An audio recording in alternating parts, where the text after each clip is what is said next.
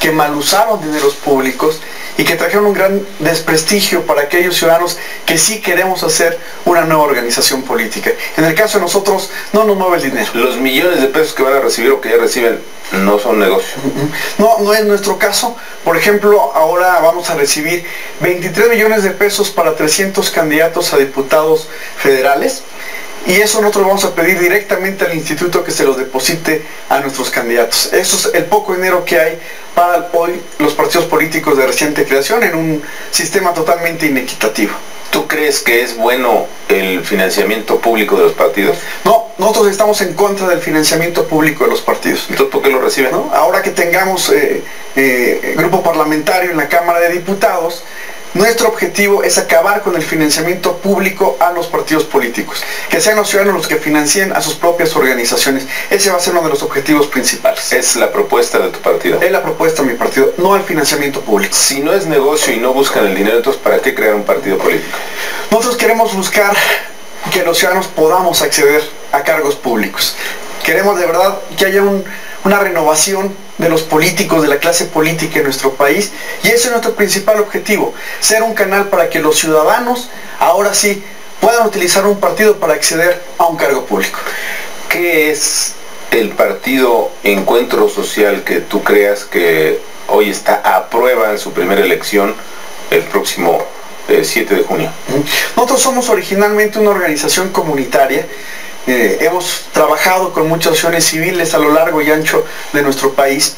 Nos creamos básicamente para motivos asistenciales y después de mucho batallar, de ver cosas muy tristes en todo nuestro país, una pobreza lacerante que lastima. Decidimos empezar a organizarnos políticamente, eso fue hace más de 12 años. Y bueno, después de 12 años hemos logrado el objetivo de convertirnos en un partido político, pero que no vamos a negar nunca nuestras raíces. Nuestras raíces son absolutamente de trabajo comunitario y social. Si yo le digo a la gente encuentro social, con todo respeto, no nos dice nada, ¿eh? ¿Por qué ese nombre? Pero nosotros estamos buscando una reconciliación. No, yo, este, muchos de nosotros, eh, pues desde jóvenes, ¿no? Tuvimos mucho acceso todavía, ya ahora los jóvenes no tienen tanto acceso a literatura marxista y creímos durante mucho tiempo que la lucha de clases era un buen camino para traer igualdad y justicia a nuestra nación. ¿Tú fuiste marxista? No, fui, me puedo decir que fui un lector del marxismo muy importante, ¿no? Como casi todos los eh, jóvenes en México. Como casi todos los jóvenes en México, sobre todo de los de mi generación y de antes de mi generación. Pero, ¿sabes? Nosotros hoy proponemos lo contrario. Después de ver muchas cosas, nosotros proponemos un encuentro entre los mexicanos, un encuentro de clases entre todos nosotros. En los mensajes de tu partido se dice que es el único partido independiente. Tengo serias dudas Somos el único partido que no nació en el poder público, nadie a nosotros nos financió, ¿no? Hay por ahí algunos rumores, todos equivocados. Nosotros vamos a demostrar en los siguientes meses y seguramente en el transcurso de los años eh, que somos un partido absolutamente ajeno al poder público. De hecho, y lo decimos y lo decimos de una manera muy contundente. Nosotros preferimos nuestro, perder nuestro registro antes de convertirnos en un satélite o en un apéndice de otro partido político. No creamos un partido para ser uno más. ¿No son el verde, el PT, este, Convergencia o cualquiera de estos? No lo somos, no nos interesa. Eh, nosotros buscamos ser verdaderamente un canal ciudadano de gente independiente. Van a ver de muchos, de muchos candidatos independientes ciudadanos en nuestra organización política y eso ni siquiera es un eslogan, es el hartazgo que tenemos muchos mexicanos de nuestras clases políticas de todos los colores y hoy lo que nosotros estamos buscando es levantar una opción nueva con nueva gente, con nuevos políticos. No son un engaño derecha, es de ultraderecha, es católico, es protestante, ¿qué es? Miren, nosotros somos un partido que nos definimos como un partido liberal, Creemos absolutamente en todas las libertades, en la libertad económica, en la libertad de creencia. Queremos absolutamente en todo esto y nos definimos como un partido liberal. Ahora, nos han dicho, son de izquierda o de derecha. Híjole, no nos gusta nada la, geografía, la, geometría política. Por un lado, Sí, desde luego que nosotros tenemos principios, valores que vamos a defender. Nos interesa mucho recobrar la institución familiar, darle fortaleza a la familia. Mucha gente, por nuestro discurso en favor de la familia, nos dicen que somos de derecha. Pero nuestros orígenes son comunitarios, ¿no? La mayoría de nosotros somos gente humilde que viene de abajo, que la educación nos permitió una movilidad social. Eh, pero la mayoría de nosotros somos gentes que venimos verdaderamente de estratos sociales, económicos muy pobres, ¿no? las gentes cuando nos ven haciendo trabajo comunitario, ustedes deben ser de izquierda, hablan mucho de pobreza, de desigualdad. pobres. No, no lo somos. Nosotros decimos, creemos en causas como la familia y creemos en causas de trabajo, de hacer productivos a los mexicanos pobres, de izquierda o de derecha. A ver, Eric, si revisamos ahorita, si tuviésemos el tiempo y revisamos la declaración de principios de todos los partidos, te aseguro que por lo menos siete o ocho de todos los que están registrados se dicen liberales. ¿Qué es ser liberal? Para nosotros ser liberal es creer en las libertades, no discriminar y creer en toda la... por ejemplo, eh, hay un tema ahí también muy vigente en la opinión pública de si yo soy ministro de culto, no lo soy, pero sí soy cristiano. A ver, a eso iba. ¿Son un partido de cristianos? No somos un partido de cristianos y en este partido sí habemos muchos Pero hay cristianos. Muchos cristianos. Habemos muchos cristianos. ¿Tú niegas tu religión? Yo no la niego y además en pleno uso de mi derecho constitucional de libertad de creencia y de expresión, pero además porque estamos hartos de, que, de vivir en una sociedad con una alta discriminación hacia personas que no profesan la religión mayoritaria. Nosotros somos muy respetuosos de las instituciones, absolutamente, pero nosotros queremos vivir en una sociedad donde si alguien quiere decir que tiene una religión, que lo diga. Si alguien quiere tener una religión o no tenerla, que la tenga o que no la tenga. Esa es la sociedad y es cuando decimos somos liberales porque creemos absolutamente en la libertad de creencia. ¿Tú no usas la religión para la política? No usamos la religión para la política, pero sí tengo principios y valores fundamentados en mis principios cristianos, que evidentemente intento ser congruente entre lo que digo y lo que hago. Por último, en este primer bloque, Eric, ¿habrá jerarcas de tu iglesia o sacerdotes, o no sé cómo le llamen, en, eh, en el partido? No hay ministros de culto. Ministros de culto. No hay ministros de culto. Eh, nosotros, además por ser liberales, creemos en el Estado laico, en la separación de funciones entre el Estado y las iglesias. No habrá ministros de culto, pero sí va a haber, como, como lo hay, muchísimos, como nos decimos, laicos cristianos, ¿no? Este, participando en esta organización política. Por último, hay mucha gente que, que, ha dicho que los políticos, yo lo he dicho muchas veces, lo acabo de decir hace un momento, son vividores del poder. ¿Ustedes no van por esa ruta? Yo coincido completamente con esa expresión. Hasta ahora el liderazgo político que hemos tenido en este país ha vivido del poder. Queremos levantar una nueva generación de mexicanos que haga justamente lo contrario. Vamos a ir en contra de la corriente porque completamente coincido. Desafortunadamente nuestras clases políticas hasta estos días han sido vividores de la política. Ya, ya es justo que se levante una nueva generación de políticos en nuestro Muy bien, Hugo Eric, si me permites, vamos a una pausa, no se vayan de vuelta. Bueno, pues eh, las diferencias de este partido y otros como el PRI, el PAN, el PRD. ¿En dónde tiene influencia encuentro social. Yo no he visto manifestaciones, no he visto gente que me invite a votar por encuentro social. ¿No es un invento? Sí, no, no, encuentro social no es un invento. Y ahora para el proceso nos registramos haciendo 249 asambleas a lo largo y ancho del país. De los tres nuevos partidos, somos el único que realizó asambleas en todo el país. La ley nos pedía 200. Eh, estamos completamente organizados en todo el país. ¿Dónde tenemos más influencia? Lógicamente por los lugares donde eh, nuestro proyecto ha ido avanzando más, que es en el norte del país. Tengo que citar Baja California, Sonora, Nuevo León, Tamaulipas, Chihuahua. Nosotros tenemos mayor influencia, somos más conocidos en la opinión pública local. A nivel nacional no somos tan conocidos. Sin embargo, estamos muy optimistas porque sabemos que hay una coyuntura política muy importante, una coyuntura social muy importante en nuestro país y queremos que los ciudadanos nos escuchen, escuchen nuestra propuesta, pero sobre todo que vengan y se sumen a este partido político. Da la impresión que han utilizado o has utilizado y, tu grupo de, colaboradores la estructura eh, pues eh, de tu credo Sí, es cierto. es muy importante comentarlo. Fíjate que nosotros hemos fundado a lo largo de 12 años y medio 63 asociaciones civiles. Y si me preguntan cuál es la estructura que nosotros hemos utilizado, yo tengo que decir que es esa. Eh, y desde luego... la estructura cristiana la que ha... No, no, la, estructura que nosotros fuimos creando a lo largo de los años. Ahora, claro que tengo que decir, no, no tenemos una estructura desde el punto de vista de iglesias, sin embargo, sí tenemos una estructura de muchas gentes que nos hemos organizado muchos cristianos, otros no cristianos, y que hemos decidido participar en la actividad política. Hoy sí tenemos una estructura en los 300 distritos electorales de nuestro país. Si tú sabes cuántos cristianos hay en México, cuántos eh, ciudadanos eh, tienen esta eh, creencia o esta religión o esta manifestación religiosa o expresión religiosa, pues les va a ir bien en las elecciones si votan por tu partido, ¿no?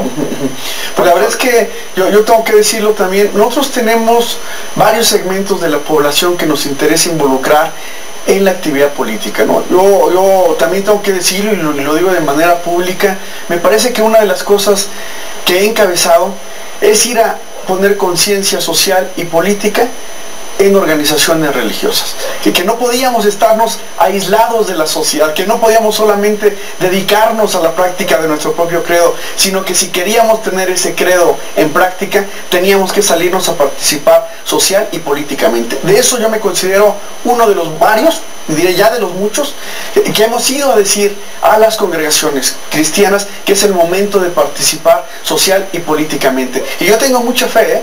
de, de que muchos cristianos que comparten nuestros valores, valores, que comparten nuestros principios, van a ir a votar por nosotros y van a entender que lo más importante no es tener una religión, sino tener un, un país sano, en justicia, en libertad. Eso es a lo que aspiramos muchos de nosotros. A ver, Eric, ¿qué diferencias, dime una, con el PRI, el PAN y el PRD? Bueno, eh, en el caso, por ejemplo, del PRD, ellos son un partido... Eh, que es un gran aglutinamiento de izquierdas, de disidentes del PRI, que finalmente se enojan y forman un gran partido. Por cierto, muy importante el papel del ingeniero Cuauhtémoc Cárdenas en el proceso de democratización de nuestro país, nada más que se quedó tronco. La gran diferencia entre ellos y nosotros es el origen. No, no, nosotros sí nos estamos constituyendo con gente de verdad, no con políticos. La gran diferencia que tenemos con el PRI es que nosotros no creemos en un sistema autoritario. ¿No pusieron un bote que decía se recibe cascajo? No, no, no. Van a haber mucha gente nueva entre nosotros. Hoy traemos la gran crítica, porque hay algunas gentes eh, que son conocidas ante la opinión pública, que están viniendo a ser nuestros candidatos, nada más que nos digan si habían participado en política, nunca habían participado en política. Diferencia con, el, con el PAN rápidamente. Ahora, y con el PAN hay una diferencia fundamental. Ellos dicen que son personas con ética y no nos lo han demostrado. El día que ponen su plan anticorrupción, ese día detienen al señor de Oceanografía, ¿no? un emblema de la corrupción de los gobiernos panistas. No, no tienen caro, si la tienen, la tienen muy dura para poder hablar de corrupción a nosotros. ¿no? Esa es la gran diferencia. Nosotros entre lo que decimos y lo hacemos lo vamos a practicar, no solamente lo vamos a decir. Y sí, claro que tenemos ética. ¿no? Este, nosotros queremos reconciliar la vida pública con la ética personal y familiar. Hoy mi compromiso básicamente es con mi mamá, con mis hermanos y desde luego con mi esposa y con mis hijitos, de no decir nada más, sino de actuar en consecuencia de lo que estoy diciendo.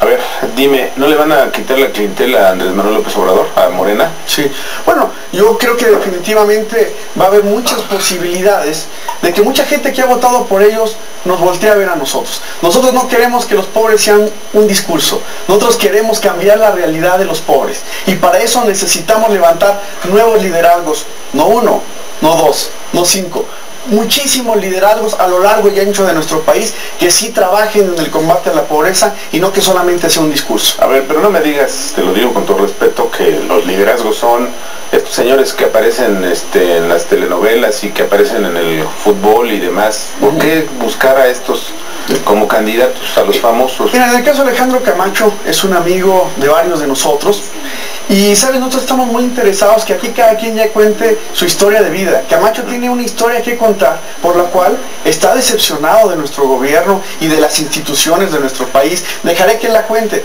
Como organización que nos interesa, Camacho va a encabezar nuestra propuesta en materia de cultura. Hoy la cultura es pura burocracia, es una elite muy, muy difícil de, transitar. No hay cultura para el pueblo. Y el señor Alejandro Camacho va a ser quien va a encabezar la propuesta de nuestro partido en materia de cultura porque queremos que la cultura llegue al pueblo. ¿No les parece usar, y, y que es grosero, usar la fama de otros para ganar votos y que les den dinero para su partido? No, no, no, estamos buscando usarlos, estamos buscando que participen, número uno. Número dos, Muchas de estas personas sí van a traer los reflectores hacia nosotros, pero lo que queremos es que la gente escuche nuestras propuestas. Yo no tengo la menor duda que la participación de varios de ellos van a hacer que la gente escuche lo que estamos diciendo. Y bueno, no es que lo estemos usando solamente para sacar votos. Nuestra intención, sobre todo, es crear conciencia entre los mexicanos. Ya no podemos seguir viviendo como lo estamos haciendo. ¿A poco sí les van a creer teniendo un cantante como candidato? Muy importante también lo que te voy a comentar.